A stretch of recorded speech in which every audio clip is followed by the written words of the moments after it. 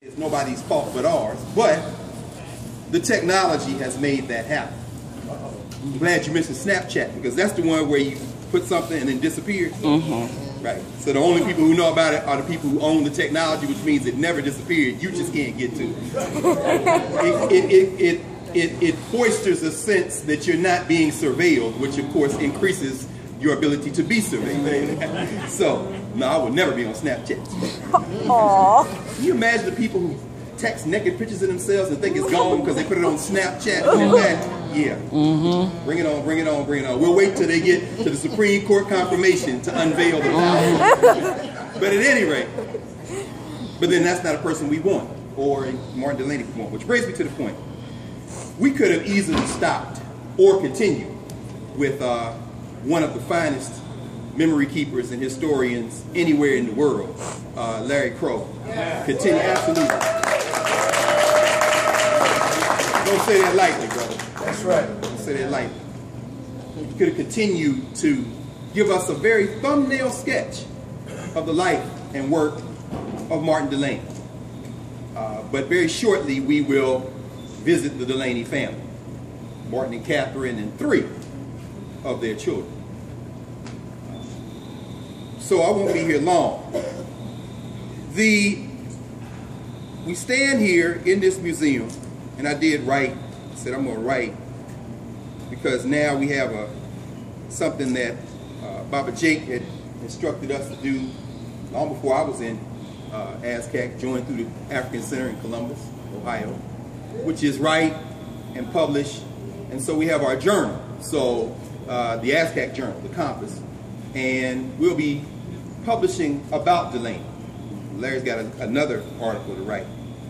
Uh, but when we were here in 1997 in this space, it's a remarkable moment because Martin Delany is one of the towering figures in human history. And he is certainly in the first rank of thinkers in the last several centuries, the centuries of our oppression. And when we think about reading him now, it really comes down to reading him. And by that, I mean, it comes down to analyzing his words. That's very difficult with every subsequent generation. And so, just a few words. Anderson Thompson called Martin Delany a man ahead of his time. When he called me by mistake the other day, so and I took the occasion because I check in with him every month or so. But I said this time, I said, tell me what you would say to the people in Ohio when we are there in a couple of days about Martin Delany. He said Martin Delany was a man ahead of his time. And as usual with Anderson Thompson, it was perfect. Because he was. Any African seeking to track and weave a thread or threads of our identity is both behind and ahead of her time mm. or his time. Every generation must make its own memory and discover its own meaning. Any individual who grants themselves or is appointed a memory keeper takes on a lonely living exercise. Building consensus among the living requires reliance on what other people know, what other people think, and what other people feel. In that respect, identity politics is best thought of as a given. Because when you're dealing with living people, you have to go on what they already know, what they want to know, and what they feel. But when you're dealing with reading and dealing with the past and dealing with visions of the future, you expand your scope. Everybody's not going to come to this sacred space. Everybody's not even going to spend the 10 or 15 minutes we got a chance to spend in this space. The memory keepers, the women and men who convene this space, they are charged with creating that narrative for us to inhabit, which is a very lonely existence when you're dealing with the past and you're dealing with the future. For bringing to bear the weight of memory beyond one's own experiences, education, and curiosity is an exercise in perpetual choosing. At the level of groups, a selective remembering is much more powerful. The victims of powerful forgetting is, are imposed upon with much higher stakes.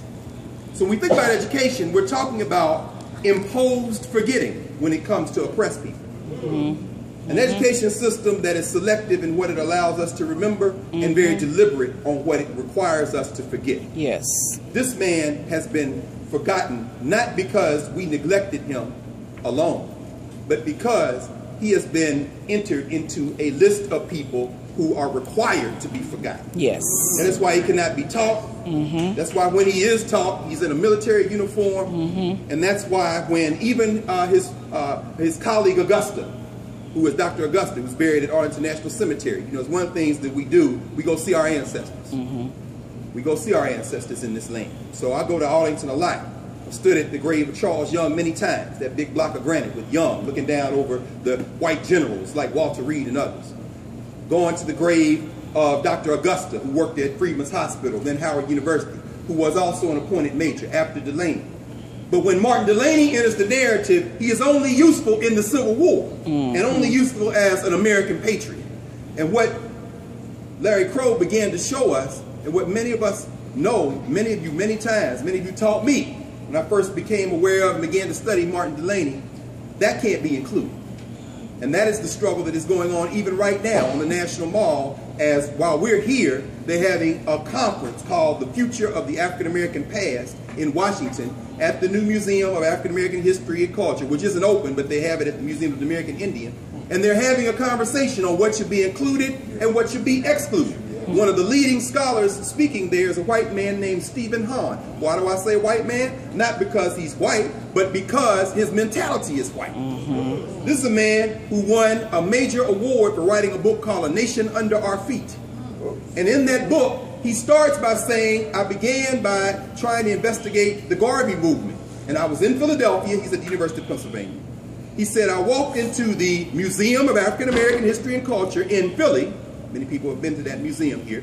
In fact, that has a tie. Because as Larry knows, in fact, Larry Crow's like John Henrik Clarke. He carries his books in his head. So I can ask you right quick, you do know who the first director of that museum was? Yes, you do. You know how, you know how I know you know? Because he was also at one time the president of Wilberforce.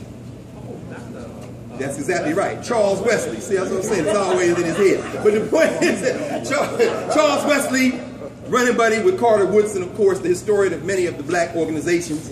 Charles Wesley was the first director of the National Museum of African American History and Culture in Philadelphia, opened in 1976. Steven Hahn went to that museum because there was a meeting of the UNIA, the local branch. Those of you in Philly know that UNIA is very strong in, in the East Coast, particularly in Philly.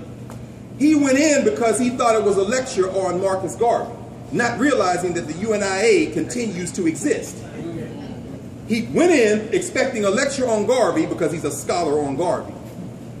Discovered that the UNI still exists, and it piqued his curiosity. Years later, his book was published, of course, and he is an expert. He's down on the National Mall while we're here discussing the future of the African American past. Again, the violence of forgetting.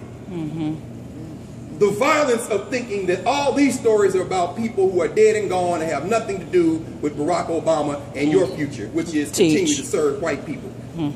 Mm-hmm. And by that, I don't mean individual white people as much as I mean the white settler state known as the United States of America that this man, Martin Delany, fought against his whole life. Not the concept of America, but the idea that a settler state would be founded on the back of anyone oppressed. Yes. Where Jarrett Carter identifies the purpose of HBCUs, and take about five minutes, I'm gonna sit down. The purpose of historically black colleges with producing community leadership as distinct from the purpose of many historically white colleges to produce a managerial class to continue this project, mm-hmm. particularly the elite ones who seek to replenish and connect that class to continue rulership and or restore and maintain it. He is laying bare the invisible tension woven into the fabric of the United States settler state. The tension, articulated by Cedric Robinson, is between those freedom dreams, like the ones of Martin Delany, and those fueled with deeper memory to maintain this state. What does that mean? We are sitting here in between two of the oldest institutions African people created in this space. One, of course, in the case of Wilberforce, going back to that institution, the African Methodist Episcopal Church, that began in Philadelphia. It's no small accident that these things converge. Didn't know before we came in this building that back there in that back corner would be Brother Pinckney and Mother Emanuel, the mother church of African Methodism in the South. Linked, of course, to the Right Reverend Richard Allen and Sarah Allen and Morris Brown, who lie entombed in Philadelphia, the African Methodist Episcopals. And here we are next to Wilberforce, where Brother Delany's friend Daniel Payne offered him and Catherine and the children refuge and a place to be, which is why they are buried in the cemetery with, Dr., uh, with uh, Reverend Payne's wife, who is still buried there, even as Daniel Payne is buried in Baltimore, she having preceded him into ancestorhood. But these institutions are for different purposes than the non-African institutions. They are to create thinkers and leaders who are dedicated to elevating the race, which is why a few short feet from here, another man, a contemporary of Martin Delany, who outlived Delany long enough to infect another young man with purpose, a man named Alexander Crummell, spoke on this campus. And Martin Delany, the spirit of Delany, along with the spirit of Crummell, both of whom visited Africa, Crummell, who spent almost two decades in Liberia, along with Edward Wilmot Blyden, coming back here and enlightening a young W.E.B. Du Bois, mm-hmm. who heard him speak right here on this land mm-hmm. at Wilberforce, and who writes about it in the Souls of Black Folk, who himself visited Africa, who himself, with his arguments with Garvey notwithstanding, thought that we must think beyond the United States. Mm-hmm. These convergences speak to the importance of our institutions. The President of the United States was at Howard University a couple of weeks ago, and he gave a largely unremarkable speech where he cautioned the young people to balance passion with a plan. I say it was largely unremarkable because the President of the United States, was wholly invested in the American settler state, seems to think that through sheer force of will and personality, he can steer this project into something other than what it is, is at its core. And advice he gives to young black people is not advice I caution young black people to listen to very carefully in terms of trying to follow, but to listen very carefully in terms of the clues he leaves as to his dream for them. Martin Delany had passion. It's very clear.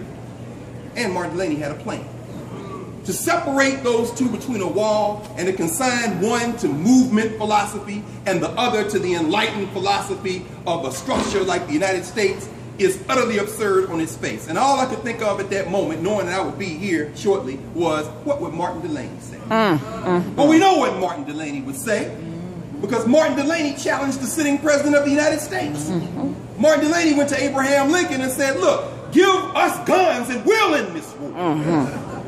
In fact, when you read some of the literature, Larry and I were talking about this uh, yesterday and today, Frederick Douglass was very disappointed that he didn't get that military commission. Well, some of the scholars think that part of the reason that Lincoln gave it to Delany and not Douglass was because Delany did not go into the meeting with Lincoln begging for anything. Mm-hmm. Delany, in fact, wanted what Lincoln wanted. Freedom for black people for himself and leave us alone. Mm-hmm. Mm-hmm. Whereas Douglass wanted to be part of the settler state. And Douglass thought the settler state could be something different. In other words, Lincoln knew that Douglass wanted to be free, but Lincoln may have said, yeah, but this guy Delany is going to make sure we're free if he kills me to get there. So therefore, give him the gun because we need to win this war. Why is that important? It's important as I draw to a conclusion today because in an age of aliteracy, our young people in particular are not encouraged to read those words, to sit quietly and think. We're going to leave here in a few minutes and we're going to go to the gravesite. But we could easily stay here all day until tonight and come back tomorrow just on two of Delany's speeches. Yes. That's why I brought a book which I think many people have, but if you don't have it, uh, this is Robert Levine, uh, again, who has uh, written, he hasn't written anything, who has compiled Martin Delany's words. Martin R. Delany, a documentary reader. This is probably the single best compendium of much of Delany's uh, scholarship, his correspondence. It's best to get all the correspondence. You know, Larry has that stuff, the individual books. It's best to get Blake or the Huts of America, but he has two chapters of it here. It's best to get the correspondence, but he's collected a lot of it here. And as you read Delany, you realize this is what our people are missing. Uh, we were talking yesterday uh, at dinner, went to the White House on Tuesday, and that's no big deal. I'm mentioning it for this reason, in the age of aliteracy. Sitting there, they have remade the, uh, the novel Roots. And in remaking this novel, uh, they're all excited about it being more historically accurate and all this kind of stuff. So they showed the first episode of it at the White House on Tuesday. The only reason they asked me to go down there is because when they screened it at Howard, they asked me to bring some students to participate, and I was on the panel talking back after this the, the first episode. So I said, yeah, I'll come down there. Watching how this narrative has been combined was both inspirational and disappointing.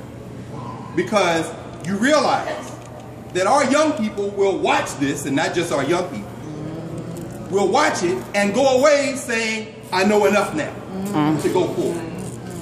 And these books will remain closed.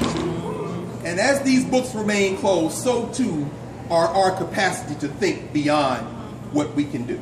Yes. There's are some master teachers in this audience. Master teachers who have taught me, who have taught for generations, and there are some young people who will be master teachers. We owe it to ourselves to study Martin Delany in an age of uh, aliteracy. Yes. Because as is evident even from this exhibit here in this museum, black lives continue not to matter to the settler state. Yes. Black lives will never matter as long as we beg for our humanity.